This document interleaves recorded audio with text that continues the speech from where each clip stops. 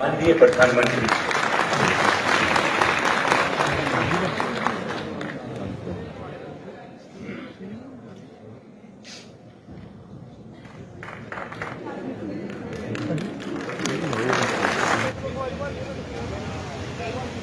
architect Bhupender Prabhakar.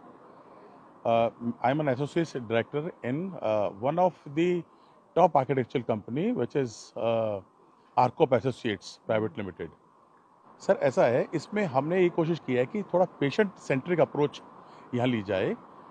इसमें ये होता है कि जो हमने एनविसाज किया है, वो ऐसे किया है कि मान लीजिए, जो पेशेंट बेचारा भागता है ना इधर से उधर, क्योंकि बहुत बड़ा कैंपस है, ये करीब 226 एकड़ का कैंपस है, जिसमें ये दो पार्ट में बटा हुआ है, जिसको हम नॉर्थ कैंपस और साउथ कैंपस बोलते हैं।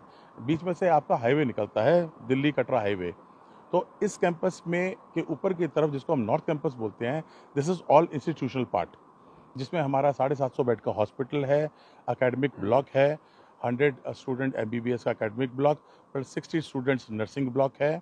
उसके बाद आप समझ लीजिए हमारे पास ये थाउज़ेंड सीटेड ऑडिटोरियम है, हमारे पास तीस बेड का आयुष ब्लॉक है, और तीस बेड के आयुष ब्लॉक के पीछे हमने वेरियस ध्यान रखा है, जो मेडिसिनल प्लांट्स हैं उनको उगाया गया है, बगीचा बनाया गया है। और आप ये समझ लीजिए कि इसमें जो ये आपका करीब करीब करीब सौ एकड़ का ये लैंड है नॉर्थ पार्सल इसमें साढ़े सात सौ बेड का अभी ये तैयार हो गया है। प्लस इसमें एक्सपेंशन का और रास्ता है। इसमें करीब करीब साढ़े सात सौ, साढ़े सात सौ बेड के similar kind of hospital block और बन सकते हैं। और एक एकेडमिक ब्लॉक हंड्रेड स्टूडेंट का और सिक्सटी स्टूडेंट का नर्सिंग ब्लॉक और बन सकता है।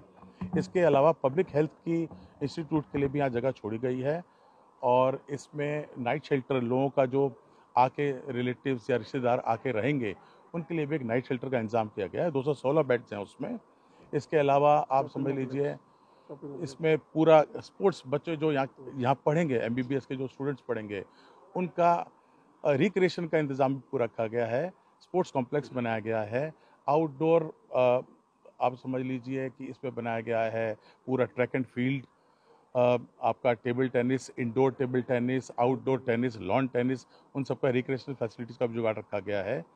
पीछे टाइप टू से लेके टाइप सेवन तक प्लस डायरेक्टर डायरेक्टर बंगलो तक की हाउसिंग तैयार की गई है और सभी स्टूडेंट्स को रहने के लिए यहाँ पर वेरियस हॉस्टल्स बनाए गए हैं जिसमें under grade boys under grade girls फिर आपका post graduate students boys and girls and married hostels बनाए गए हैं और इसके पीछे गेस्ट हाउस भी रखा गया डिग्निटरीज को uh, रुकवाने के लिए है।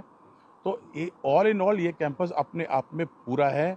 हमने यहाँ पर करीब दो एकड़ का प्लॉट रखा है अभी for future expansion of the school बच्चों के पढ़ने के लिए। बच्चे पढ़ने के लिए स्कूल से बाहर ना जाएँ इस कैंपस से बाहर ना जाएँ।